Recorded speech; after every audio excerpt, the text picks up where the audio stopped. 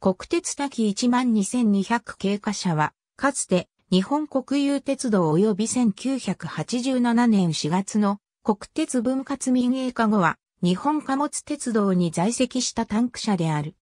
本形式は、セメント輸送用として1968年から1981年にかけて富士重工業にて16ロット134両が製作された40トン席の私有化車である。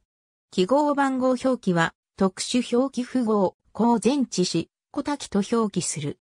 40トン積セメント専用車のメーカー間、開発競争の中で、富士重工業が独自に開発した形式で、軽量化のため、側張りを省略した台枠をタンク体と一体化したフレームレス構造を採用したのが大きな特徴である。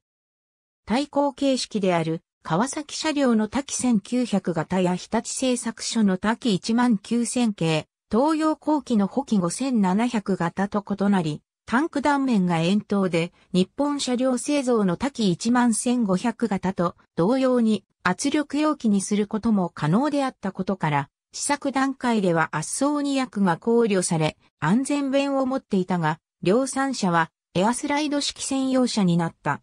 本形式の製造は、開発経緯の関係から富士重工業一社のみで行われ、小野田セメント、日立セメント、秩父セメント、電気化学工業、大阪セメントの合計5社が所有した。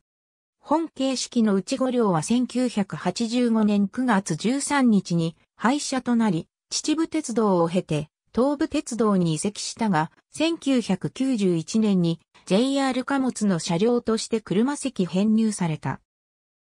全長は 1800mm、全幅は 2536mm、全高は 3650mm、台車中心間距離は 7100mm、タンク事業席は34.2立方メートル、自重は13.9トン、換算量数は、積車5.5、空車1.4であり、台車は、小滝12241まで側、ベッテンドルフ式の TR41C、小滝12242小滝12280が TR41G、小滝12281小滝12299小滝12700小滝12728が平軸受け、コイルバネ式の TR41E-13、小滝12729以降が DR213C である。各年度による製造会社と